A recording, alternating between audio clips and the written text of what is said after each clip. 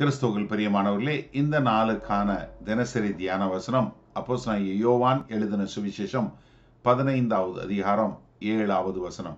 யோவான் பதினைந்து ஏழு ஜான் ஃபிஃப்டீன் செவன் நீங்கள் என்னிலும் என் வார்த்தைகள் உங்களிலும் நினைத்திருந்தால் நீங்கள் கேட்டுக்கொள்வது எதுவோ அது உங்களுக்கு செய்யப்படும். இப்போ கர்த்தராகி இயேசு கிறிஸ்து அடுத்த நிலைக்கு கொண்டு போகிறார் முதல்ல நீங்கள் எல்லாம் நினைச்சிருக்கணும்? நான் உங்களை நினைச்சிருக்கணும். இப்போ உங்களுக்கும் எனக்கும் கர்த்தராகி இயேசு கிறிஸ்துவ மாம்ச பிரகாரமாக நம்ம அறியும். ஆனால் இப்போ நமக்குள்ள நிலைத்திருக்கிறாருங்கிறது எப்படி நம்ம நிலைத்திருக்கிறத புரிஞ்சு கொள்ள முடியும்? அவருடைய வார்த்தை எந்த அளவுக்கு நமக்குள்ள நிலைத்திருக்கு? இப்போ கர்த்தராகி இயேசு கிறிஸ்துவனுடைய வார்த்தை உங்களுக்குள்ள எந்த அளவுக்கு நிலைத்திருக்கோ அதை கொண்டு தான் நீங்கள் என்னவா மாற முடியும்? அவர் உங்களுக்குள்ள நிலைத்திருக்கிறத உறுதி செய்ய முடியும். அப்போ கர்த்தருடைய வார்த்தை உங்களுக்குள்ள நிலைத்திருக்க நிலைத்திருக்க கிறிஸ்து வார்த்தையாகிய தேவன் அவர் உங்களுக்குள்ள நிலைத்திருப்பாரு. அதன் மூலமா நீங்க என்ன பண்ணுவீங்க? அவர்கிட்ட எதை கேட்குறீங்களோ அது உங்களுக்கு அவரால் கொடுக்கப்படும். இதை யோவான் தன்னுடைய நிருபத்தில் எழுதும்போது ஒன்று யோவான் இரண்டாவது அதிகாரம் பதினான்காவது வசனத்துல சொல்லும்போது சொல்றாரு பிதாக்களே ஆதி முதலில் இருக்கிறவரை நீங்கள் அறிந்திருக்கிறதுனால் உங்களுக்கு எழுதியிருக்கிறேன். நல்ல கவனிங்க வாலிபரே நீங்கள் பலவான்களாய் இருக்கிறதுனாலும் தேவ வசனம் உங்களில் நிலைத்திருக்கிறதுனாலும் நீங்கள் பொல்லாங்கனை ஜெயித்ததினாலும் உங்களுக்கு எழுதியிருக்கிறேன். என்ன நீங்க எப்படி ஜெயித்தீங்க? பொல்லாங்கனை ஜெயித்தது காரணம் வேத வசனம் உங்களுக்குள்ள நிலைத்திருக்கிறது.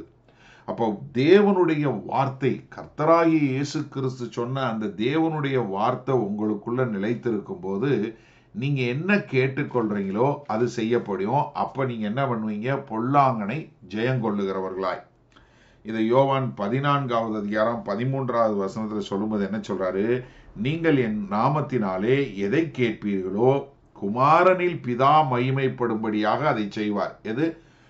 குமாரனில் பிதா மகிமைப்படும்படியா? தேவன் மகிமைப்படும்படியா? குமாரன் மகிமைப்படும்படியா? தேவன் செய்வார்.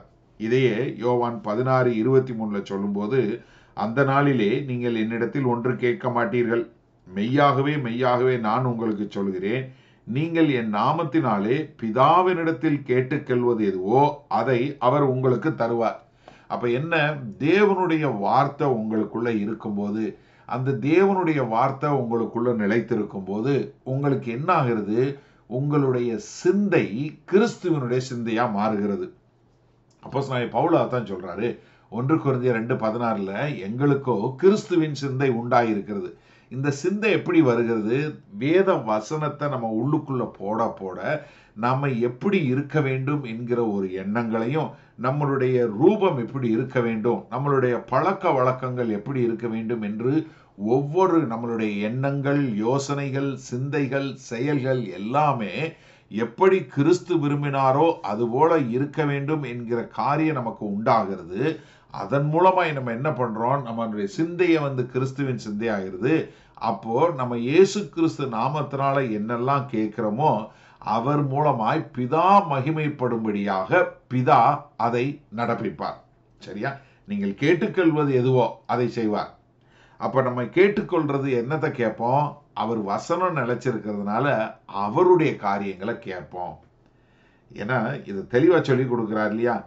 ஏன்னா அவருடைய வார்த்தை உங்களில் நிலைச்சிருக்கணும். இப்போ கிறிஸ்துவனுடைய வார்த்தை உங்களுக்குள்ளே எப்படி நிலச்சிருக்கு?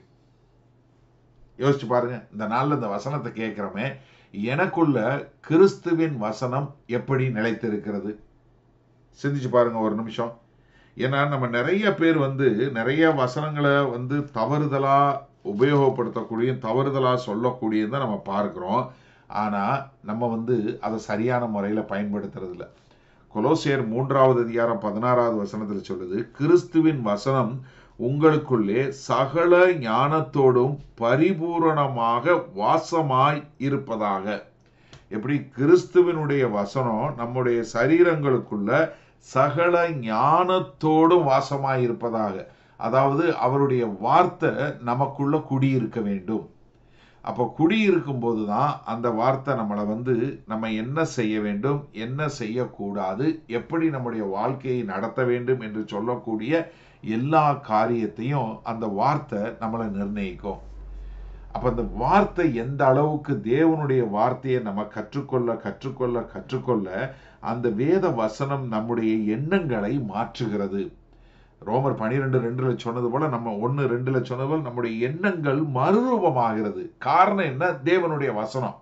அப்ப அந்த தேவனுடைய வார்த்தை நிலைத்திருக்கிறது. இப்ப கிறிஸ்து உங்களுக்குள்ள நிலைத்திருக்கிறாருன்னா அந்த கிறிஸ்துவனுடைய வசனம் நமக்குள்ள சகல ஞானத்தோடு பரிபூரணமா வாசமா இருக்கணும். கொஞ்சம் இல்லை பரிபூரணமா. அதனாலதான் நம்ம இந்த இவ்வளவு முயற்சி எடுத்து நம்ம எல்லாருமே சேர்ந்து இந்த இந்த பிரயாணத்துல நம்ம எல்லாருமே தேவனுடைய ஞானம் என்ன? தேவனுடைய ஆலோசனை என்ன என்பதை கற்றுக்கொள்வதற்கு நம்ம இவ்வளவு முயற்சி எடுத்து செய்கிறோம் நமக்கு கர்த்தர் அதற்கான கிருவியை கொடுப்பாராக. அதன் மூலமாய் நம்முடைய நமக்குள்ள தேவனுடைய வசனம் பூரணமாய் இருக்க தேவன் நமக்கு கிருவை பாராட்டுவாராக. ஜெபிப்போமா? வல்ல பிதாவே இந்த நல்ல நாளில் நாங்கள் ஒரு காரியம் தெளிவாய் அறிந்து கொண்டோம். கிறிஸ்து எங்களுக்குள்ள நிலைத்திருக்கிறாருங்கிறது. அவருடைய வசனம் எங்களுக்குள்ள சகல ஞானத்தோடும் பரிபூர்ணமாக நிலைத்திருக்க வேண்டும் என்பதை புரிந்து கொண்டோம். அதனால் ஆண்டவரே நாங்கள் எங்களை முழுமையாக உம்முடைய கரங்களில் ஒப்படைக்கிறோம்.